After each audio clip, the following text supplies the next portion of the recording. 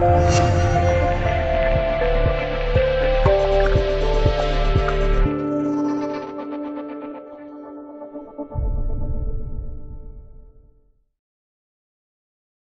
加达亚运会，中国女篮一路高歌猛进，以小组赛净胜七十四分的碾压性优势，最终杀进决赛夺冠。而圆满完成亚运任务之后，中国女篮在本月下旬将再次出征，因为二零一八年女篮世界杯即将在西班牙打响。显而易见，如果说中国女篮在亚运会中考中成绩优异，那么女篮世界杯显然是他们大考的日子。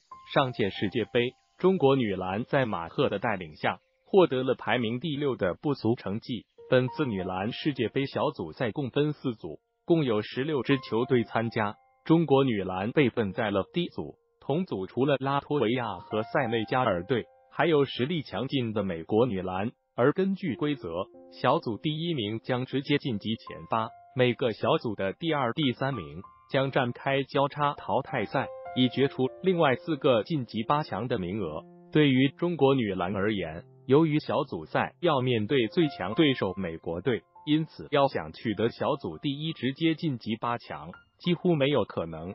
根据赛程，中国女篮世界杯首战将迎战欧洲劲旅拉脱维亚。中国女篮只要全力力拼，有望取得开门红。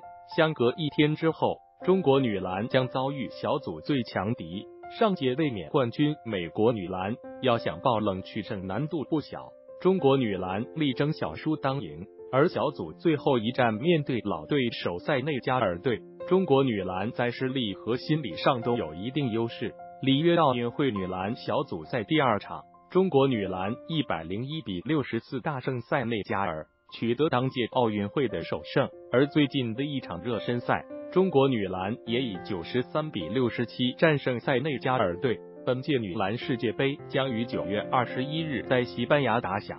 中国女篮小组赛具体赛程如下，均为北京时间九月二十二日十八点中国 vs 拉脱维亚，九月二十四日一点中国 vs 美国，九月二十五日二十一点中国 vs 塞内加尔。敬请各位网友和球迷关注。在此。也预祝中国女篮大跑顺利。